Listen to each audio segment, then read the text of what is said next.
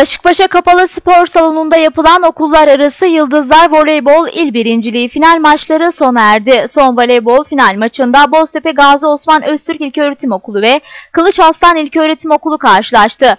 Karşılaşma sonunda Boztepe Gazi Osman Öztürk İlköğretim Okulu voleybol takımı Kılıç Aslan İlköğretim Okulu voleybol takımını 3-0 mağlup etti.